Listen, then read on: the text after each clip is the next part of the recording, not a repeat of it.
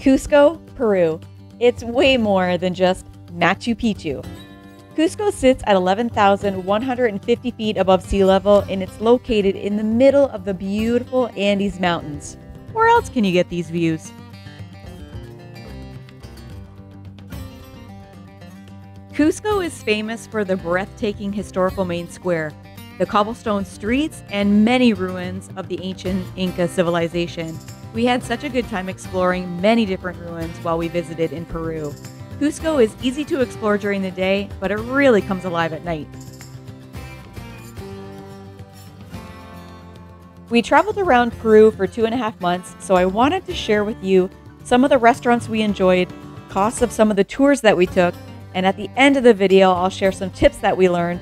Plus, I'll tell you some places that you can see in and around Cusco that are completely free.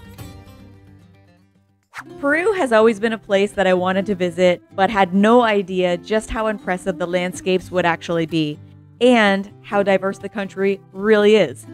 I've put together a list of recommendations based on the great experiences we had, and if you're planning a trip to Cusco, I hope you'll find our recommendations and tips helpful. You'll find all the locations mentioned in this video in the description box below.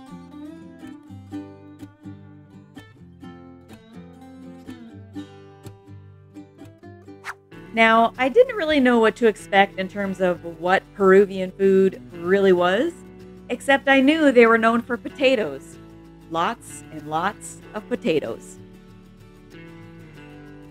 And yes, we did get our fill of delicious potatoes, but Cusco offers such a wide range of food options. But let's start with what seemed to be our Peruvian staple, and that was roasted chicken, and yep, you guessed it, potatoes. If you've been to Peru, you know exactly what I mean when I say that the roasted chicken is some of the best you'll ever have. Top three places were Brosso Chicken, Los Toldos Chicken and Pizzeria. Funny, they were literally right beside each other. But we did find Los Toldos Chicken and Pizzeria a little bit more expensive because it had a few more Western dishes on the menu. And the third place was Grimaldo's, right across from the Plaza San Francisco. When you order your roasted chicken in Peru, many times it comes with a small side salad or some other unexpected side dish. But the portions are huge and the chicken is so juicy and the service was always quick and friendly. Pancho's chicken was also very good, but there are so many roasted chicken places. If I named all the ones we ate at, this would be a very long video just on chicken. If you don't want to venture too far away from the main square and are craving Irish food, well, you're in luck. See what I did there? yes, we went to Paddy's Irish Pub and the food was delicious. And who doesn't like the vibe of an Irish pub? Plus, the views were amazing. Native Burgers and Salad was very good as well. Service was excellent, and the prices are a little bit closer to Western prices, but the food was so good and a little bit on the fancy side. Avocado was another cute shop we had lunch at. Jay had a burger and I had a chicken wrap. Our entire meal was about 25 Canadian, so closer to the main square you'll find prices are a little bit higher. The San Pedro market is close to the main square and it is filled with everything you could possibly need when you're coming to Cusco. I wanted to include it because it's inexpensive and it's about as authentic as it gets. I had a bowl of soup and it was 8 soles, which is about $3 Canadian. So there are budget friendly options without going too far from all the action. I'm also a fan of Chinese food. When I said there was a variety of food options in Cusco, I wasn't kidding. The wonton soup here was so good. One of the things Jay and I like to do is grab a coffee from a random coffee shop and just take a stroll.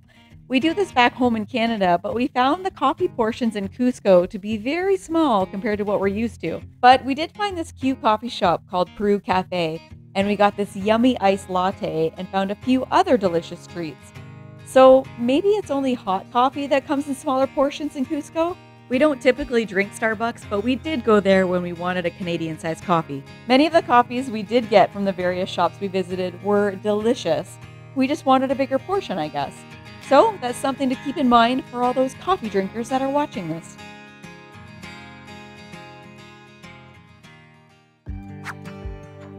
While strolling around the main square, the dogs were super fun to watch.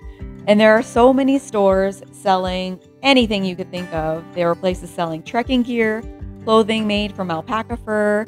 But if you're looking for a one stop shop, Inti Killa is the place to go. This place has everything you need and then some. They sell all the layers to keep you warm on the cold nights and souvenirs as far as the eye can see. I wanted to mention San Pedro Market again because if you're staying in Cusco for a longer period of time, you'll find lots of local goods being sold here, like fresh fruits and vegetables. You'll find packaged coffee, cheese, flowers, dried goods, clothes, and lots of delicious soup. Something else you'll find everywhere in Cusco are tour companies wanting to sell you tours from Cusco to the various attractions. We ended up booking tours with two different companies, Ausangate Trekking Company and Clap Travel. The Ausangate trek that we did, I would highly recommend. It was absolutely awesome. And the Ausangate Trekking Company was very easy to book with. It was a day trip from Cusco. It cost $44 Canadian. It was a long day at 14 hours, but it included breakfast and lunch. We used Clap Travel for many of the day trips we did from Cusco. Karina was so nice to work with. One of the important things that I wanted to share with you is that the tours from Cusco are very long and they leave bright and early in the morning. So just keep that in mind. This tour we did was Palcoyo Rainbow Mountain and it was 58 Canadian per person. Again, it was a very long 14 hour day.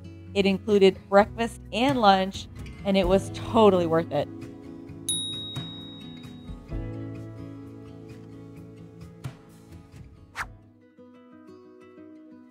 If you just want to sit and relax but see Cusco at the same time, I would highly recommend the city bus tour. It only cost $12 Canadian per person and it was about four hours long. Totally worth the money, especially if you've had an action packed vacation but you still want to feel like you're exploring. It's perfect. We also went to Machu Picchu and I did a full video on that adventure, including what circus we did and how much it cost. I'll leave that link up on the screen here for you to go check out after this video. When coming to Peru, there are three important tips that I wanted to share with you that we learned when we went to Peru. And the first one is when you're using the banks in Peru, never accept the conversion rate when you're withdrawing money. Like most countries, it will always cost you more if you accept the conversion in the country you're withdrawing money from. And at this Scotiabank, it added a 9% markup on the transaction fee if we were to accept the conversion. Also, two other things to talk about when banking and spending money in Peru. If you're going to be paying in cash, use soles because you'll always get a better exchange rate than if you were to pay in, let's say, American or Canadian. And while you're planning your trip to Peru, do some research on whether or not the bank you use in your home country has any affiliate banks in Peru because it might save you money on transaction fees.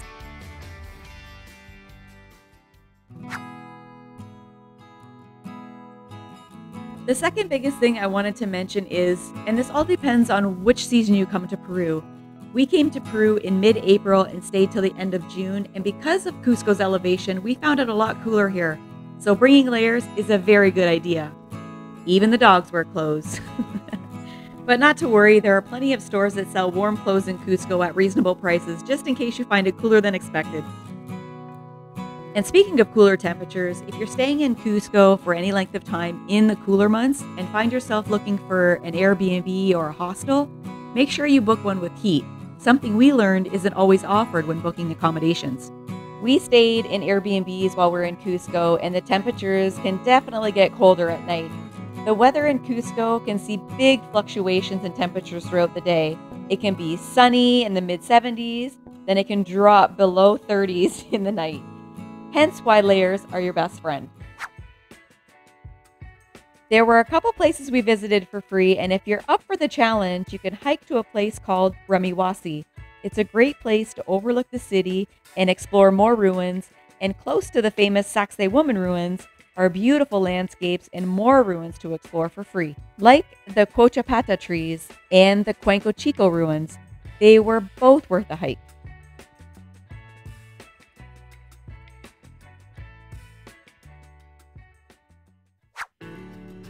We had such a great time in Peru, and we are looking forward to exploring more of South America.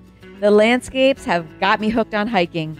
Even though we spent two and a half months in Peru, I feel like we just scratched the surface, and there is so much more we need to explore.